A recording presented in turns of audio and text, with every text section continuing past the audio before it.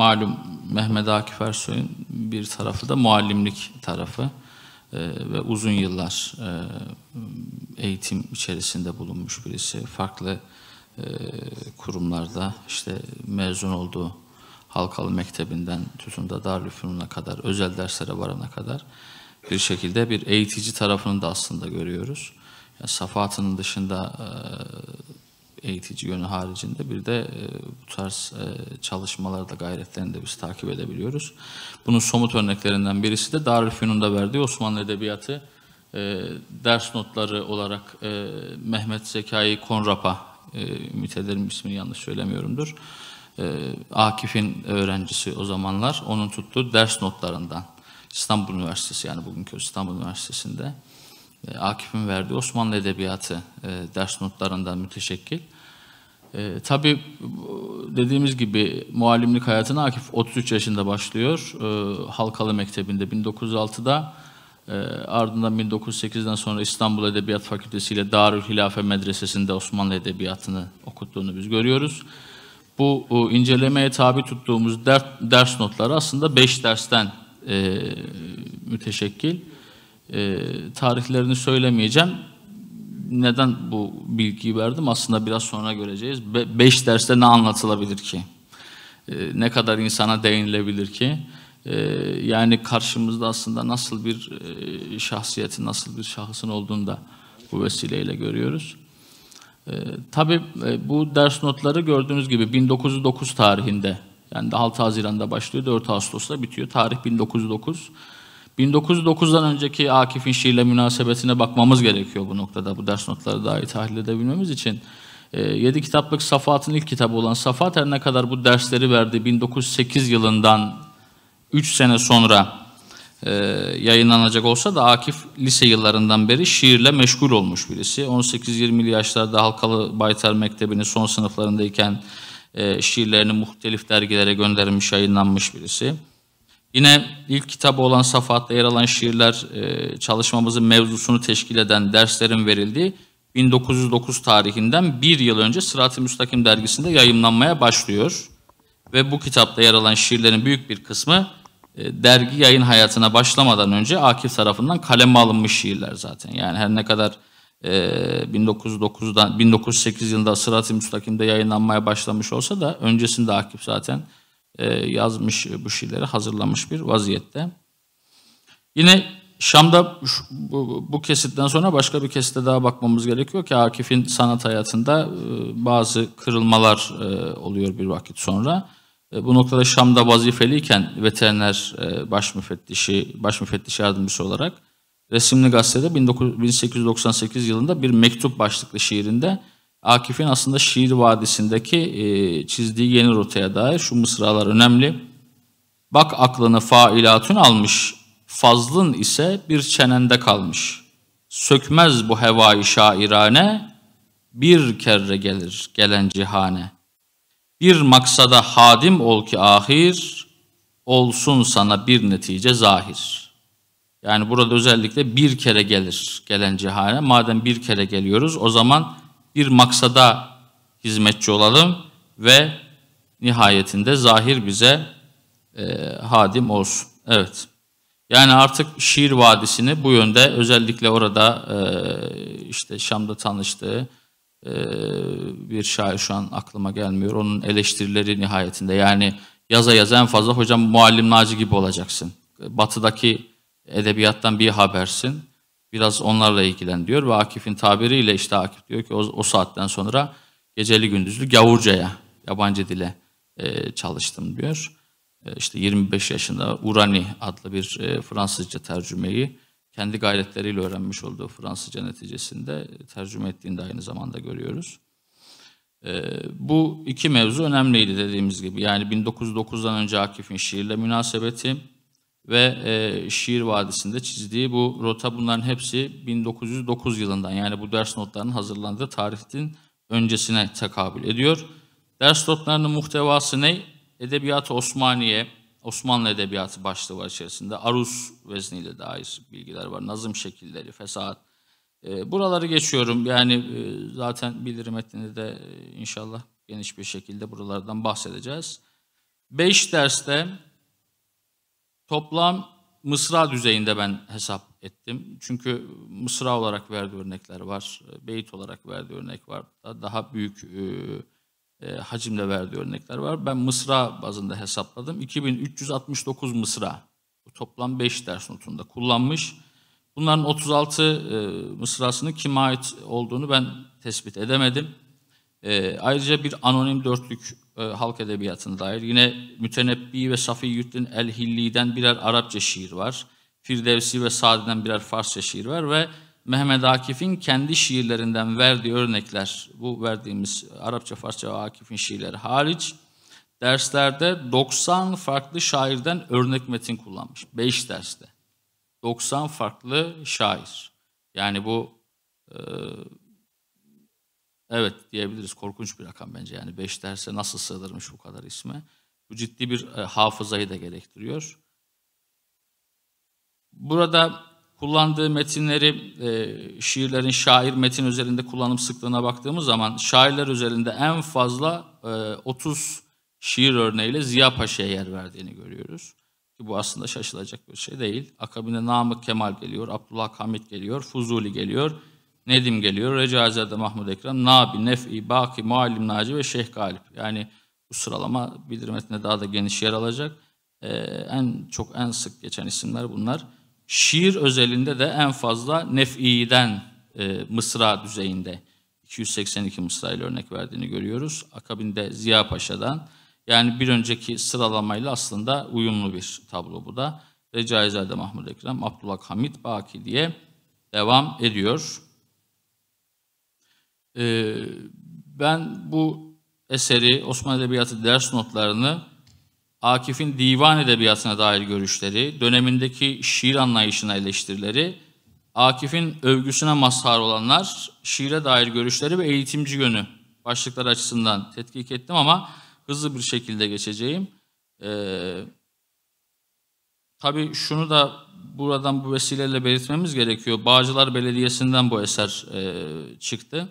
E, kendilerine de e, neşredeni şu an e, af buyursun hatırlayamıyorum ismini bir tarihçi hocamızdı. E, teşekkür ediyoruz. Bu Bağcılar Belediyesi'nin gerçekten Akif'e çok büyük hizmetleri oldu. E, ama bazı neşirde eksiklikler ben tespit ettim.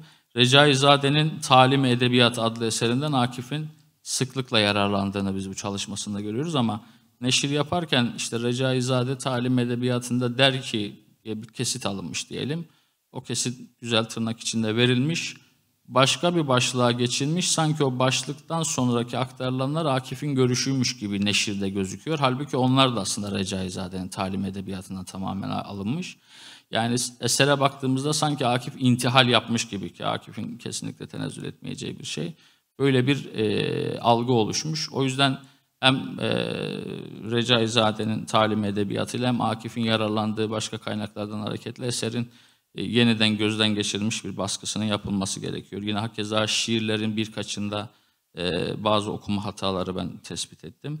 E, bu açıdan e, gözden geçirilirse daha sağlıklı bir metin ortaya çıkacak diye inanıyorum. Esere şu cümleyle başlıyor Akif. Tam Akifçe bir başlayış aslında. Derse daha doğrusu öyle diyelim, eser demeyelim. Derse şu cümleyle başlıyor ilk derse. Edep bir melekedir ki kendisine sahip olanı insanlığın şanına kusur getirecek şeylerden muhafaza eder. Tabii ben başta şunu da söyleyeyim. Ee, örneklerin hepsini sadeleştirerek e, aktarmaya çalıştım. Buradaki e, öğrenci arkadaşlarımızın daha kolay bir şekilde e, anlaması için. Edep bir melekedir ki kendisine sahip olanı insanlığın şanına kusur getirecek şeylerden muhafaza eder. E, bu sözü destekler mahili, mahiyette Sebilur Reşad'ın 1912 8 Mart tarih sayısında edebiyat başlıklı yazıda Akif edebiyata dair kırmızı çizgisini aslında ortaya koyuyor. Diyor ki bizim içtihadımıza göre edepsizlik başladığı noktada edebiyat biter. Akif'in bu kanaati aslında bütün bir şiir anlayışının ve Osmanlı Edebiyatı ders notlarında ileride bahsedeceğimiz divan edebiyatına dair tenkitlerinin temelini oluşturur. Şöyle ki, edep şiirde biçime değil muhtevaya taalluk eden bir husustur. Akif, mananın lafza feda edilemeyeceğini, Hatta lafız aşamasında kusurlu görülen şiirler kuvvetli bir mana ile örülmüşlerse bu kusurlarının affedilebileceğini söylemektedir. Divan şiirini de biçime fazlası ile ehemmiyet verip manayı boğmuş olmasından dolayı aslında yoğun olarak eleştirmektedir. Divan edebiyatı eleştirisinin temelinde yatan düşünce bu.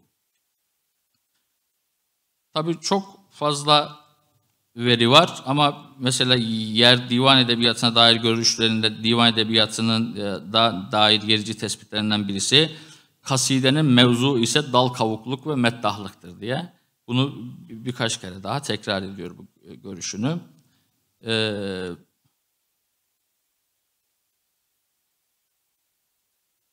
evet yine kaside ile alakalı eski ve orta dönem şairlerimizin kasideler hep tek düze ve aynı manadadır diyor.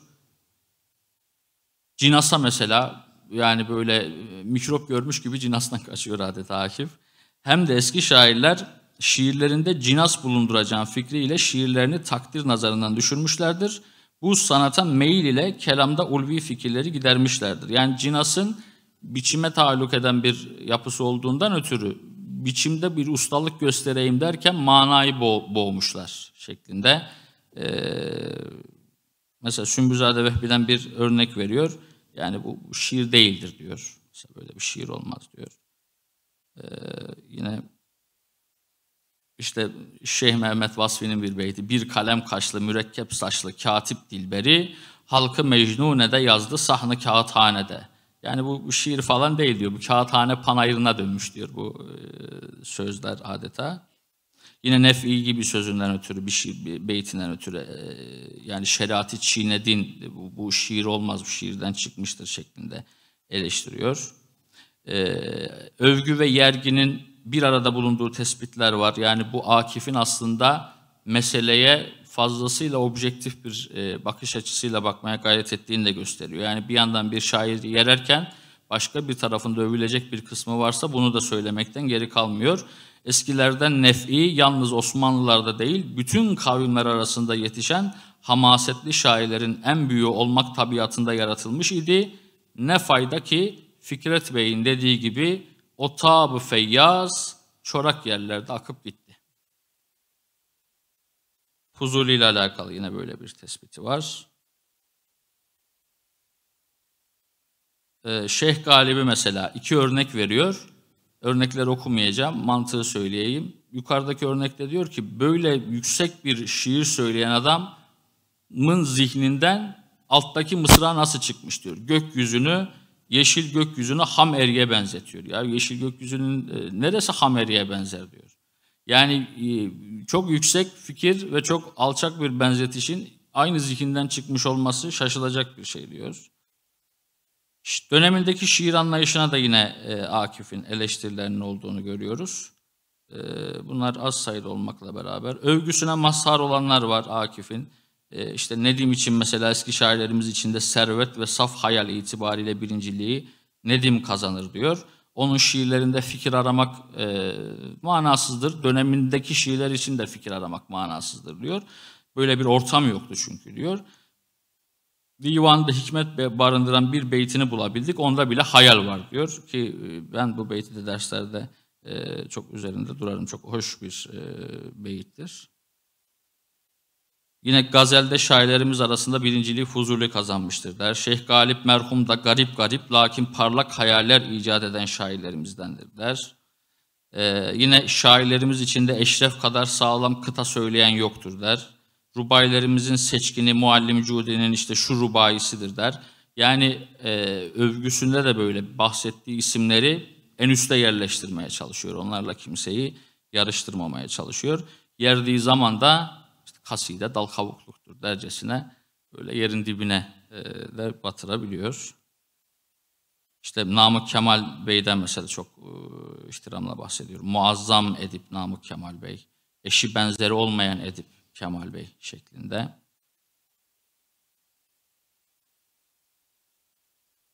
Ee, aslında burası bu kısım da önemli ama fazla girmeyeceğim buraya da. Şiire dair görüşleriyle aslında Osmanlı Edebiyatı ders notlarındaki Akif'in şiire dair görüşleriyle beraber de safatı e, birleştirdiğimizde e, daha açık bir, e, daha isabetli çıkarımlar yapmamız mümkün. Sadece şuradan bahsedeyim. Mesela diyor ki hissetmeyen şair eserine his vermek için yalnız sanat düşünür. Hakkıyla hisli şair ise kapıldığı duygu dalgaları arasında sanat düşünmeye vakit bulamaz. Bir dikkatli bakış ötekinin ağlatmak istediğini, berikinin ağlattığını görür. Hislerin coşkusu içinde kalan şair sanat arkasından koşmak şöyle dursun. Sanat onun arkasından gelse dönüp bakmaz. Bununla hemen Akif'in bir şiirini birlikte okuyalım. Bana sor sevgili kar, kari, sana ben söyleyeyim. Ne hüviyette şu karşında duran eşarım. Bir yığın söz ki samimiyeti ancak hüneri, ne tasannu bilirim çünkü ne sanatkarım. Akif böyle dedi diye Akif sanatkar değil mi? Ben sanatkar değilim mi aslında demek istiyor. Bu, bu mısralar bazı tarafından bazıları tarafından böyle de okunuyor. Bu mısraların kimi zaman evet Akif'in kendisi de şair olmadığını söylüyor. Şeklinde okunduğuna şair olmaktayız ama buradaki tespiti de gö- göstermektedir ki tasannu gerçek sanatkarın en büyük düşmanıdır. Yani sanat yapma kaygısı. Gerçek sanatkarın en büyük düşmanıdır. Hissiyle hareket edenin sanat peşinden koşar demek istiyor. Yine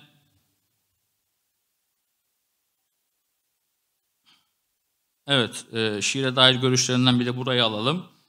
Bir de her şiir başka başka noktalardan incelenir. Hisler, şiddetli arzuya tercüman olan sözlerde hikmet, hayali şiirlerde hakikat, neşeli, hareketlendirici şiirlerde incelik aramak tabii doğru olamaz. Her şiir vadisinde tetkik, e, orayı silmeyi unutmuşuz, her şiir vadisinde incelenmeli, ne maksatla yazılmışsa onu temin edip etmediği nazara dikkate alınmalı, hükümde de aceleci olmamalıdır. Yani her şiirin kendisine ait aktığı bir vadisi vardır diyor. Şimdi yine Akif'in şiirleri için de şiir değildir. Artık şiirden nasıl bir e, anlayış e, sahipler bilmiyoruz ama şiir değildir yorumların yapıldığını geçmişte de bugün de görüyoruz. Bu yorum neye göre yapılıyor? Vadisi belli olan bir şairi o vadiye göre değerlendirmek gerekir. Akif'in burada söylediği şey o. Evet, hemen toparlayalım. Son olarak eğitimci yönüne dair e, birkaç şey söyleyelim. Mesela derslerde örnekler vererek bazı şeyleri anlattığını görüyoruz. Mesela edebi sanatlardan bahsederken diyor ki siz e, İstanbul'da diyelim e, buradan okuyalım kendi cümlelerinden. Farz edelim ki bir ucunda ikametgahınızdan kalkar her gün gördüğünüz sağınızdaki solunuzdaki dükkanlara, evlere varıncaya kadar ayrıntılarıyla tanıdığınız aynı sokaklardan, aynı çarşılardan geçerek buraya kadar geldiniz. Halbuki bu sokakların ve çarşıların birçoğunun ismini bilmezsiniz. Size bir mahalle ismi söylense acaba İstanbul'un neresindedir dersiniz. İhtimal ki neresi olacak dediğiniz mahalle her gün önünden geçtiğiniz bir yerdir. Sizin diyor öğrencilerine karşı, talebelerine karşı e, şiirdeki edebi sanatı kestirme e, ilişkiniz de edebi sanatla şiir arasındaki ilişkiniz de böyle. Belki o edebi sanatın muhtevasını şiirden hissediyorsunuz ama hani deriz ya dilimin ucunda gelmiyor. İşte bir sehli mümteni bir telbih diyemiyoruz bilmediğimiz için. Böyle bir somut örnekle anlatıyor. Ee, yine sehli mümteni dedik mesela sehli mümteni ile alakalı çok çok önem veriyor sehli mümteni sanatına. Yani e, basit yazılmış gibi gözüken Halbuki arkasında nice ter damlalarının olduğu şiirler. Farz edelim ki şurada iki makine var. İkisi de aynı hizmette kullanılıyor. Yalnız biri karmaşık, biri basit. Şimdi o basit makine kendisinden beklenen işi öteki kadar gördükten sonra neden basitliği üstünlük sebebi olması?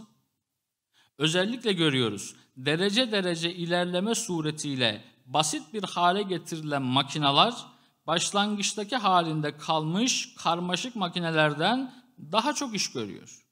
Bunun gibi sözün kastedilen manasını hakkıyla eda etmek şartıyla en basit, en külfetsiz bir tarzda söylenmesi onun en mükemmel halidir. Mükemmel ise daima zordur. Yani kolay yazılmış gibi gözüken arkasında nice ter damlaların olduğu şiirler. Evet ben e, sabrınız için teşekkür ediyorum. E, hürmetlerimi arz ederim. Evet.